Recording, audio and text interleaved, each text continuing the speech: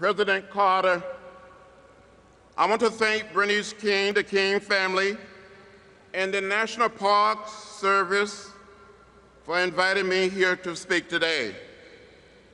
When I look out over this diverse crowd and survey the guests on this platform, it seemed to realize what Otis Redding sang about and what Martin Luther King Jr. preached about. This moment in our history has been a long time coming, but a change has come.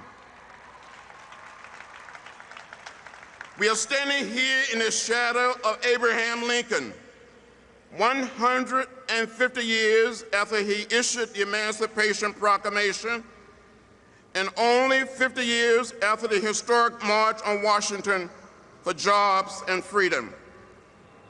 We have come a great distance in this country in the 50 years, but we still have a great distance to go before we fulfill the dream of Martin Luther King Jr. Sometimes I hear people saying nothing has changed, but for someone to grow up the way I grew up in the cotton fields of Alabama, to now be serving in the United States Congress, makes me want to tell them, come and walk in my shoes. Come walk in the shoes of those who were attacked by police dogs, fire hoses, and nightsticks, arrested and taken to jail. I first came to Washington in the same year that President Barack Obama was born to participate in the Freedom Ride. In 1961, black and white people could not be seated together on a Greyhound bus. So we decided to take an integrated fashion ride from here to New Orleans. But we never made it there. Over 400 of us were arrested and jailed in Mississippi during the Freedom Ride. A bus was set on fire in Anniston, Alabama. We were beaten and arrested and jailed but we helped bring an end to segregation in public transportation. I came back here again in June of 1963 with the Big Six as the new chairman of the Student Nonviolent Coordinating Committee. We met with President Kennedy, who said the fires of frustration were burning throughout America. In 1963, we could not register to vote simply because of the color of our skin. We had to pay a poll tax, pass a so-called literacy test, count the number of bubbles in a bar of soap, or the number of jelly beans in a jar. Hundreds and thousands of people were arrested and jailed throughout the South for trying to participate in the democratic process. Medgar Evers had been killed in Mississippi, and that's why we told President Kennedy we intended to march on Washington to demonstrate the need for equal justice and equal opportunity in America.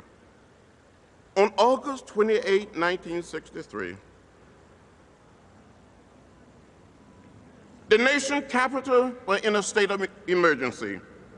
Thousands of troops surrounded the city. Records was told to stay home that day Liquor stores were closed, but the march was so orderly, so peaceful. It was filled with dignity and self-respect.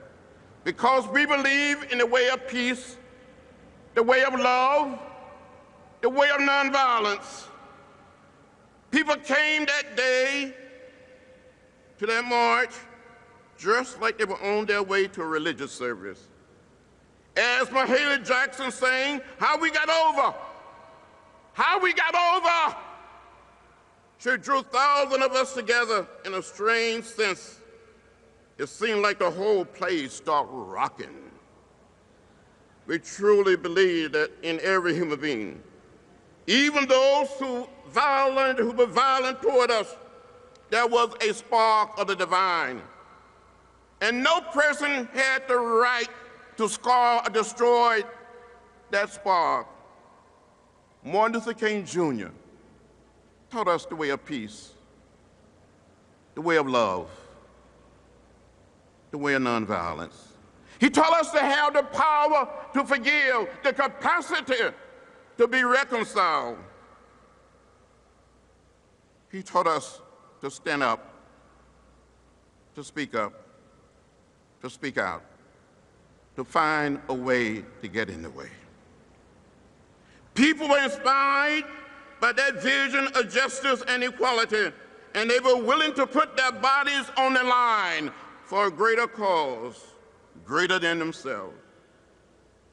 Not one incident of violence was reported that day. A spirit had engulfed the leadership of the movement and all of its participants. The spirit of Dr. King's words captured the hearts of people not just around America, but around the world. On that day, Martin Luther King Jr. made a speech, but he also delivered a sermon. He transformed these marble steps of the Lincoln Memorial into a modern day pulpit. He changed us forever. After the ceremony was over, President Kennedy invited us back down to the White House. He met us standing in the door of the Oval Office, and he was beaming like a proud father. As he shook the hands of each one of us, he said, You did a good job. You did a good job. And he said to Dr. King, And you had a dream. 50 years later, we can ride anywhere we want to ride. We can stay where we want to stay. Those signs that said white and color are gone. And you won't see them anymore. Except in a museum, in a book, on a video. But there's still invisible signs, barriers in the hearts of humankind that form a gulf between us. Too many of us still believe our differences define us instead of the divine spark that runs through all of human creation. The scars and stains of racism still remain deeply embedded in American society. Whether it is stop and frisk in New York or injustice in the Trayvon Martin case in Florida. The mass incarceration of millions of American immigrants hiding in fear in the shadow of our society, unemployment, homelessness, poverty, hunger, or the renewed struggle for voting rights. So I said to each one of us today, we must never ever give up. We must never ever give in. We must keep the faith and keep our eyes on the prize.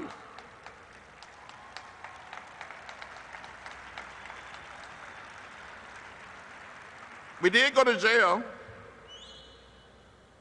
but we got a Civil Rights Act. We got a Voting Rights Act.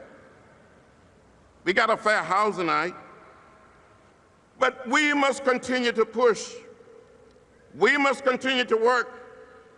As the late A. Philip Randolph said, the organizer of the march in 1963. And the dean of the civil rights movement once said, we may have come here on different ships, but we all are in the same boat now. So it doesn't matter whether we're black or white, Latino, Latinos, Asian American, or Native American, whether we are gay or straight, we are one people, we are one family, we all live in the same house, not just American house, but the world house. And when we finally accept these truths, then we will be able to fulfill Dr. King's dream to build a beloved community, a nation and a world at peace with itself. Thank you very much.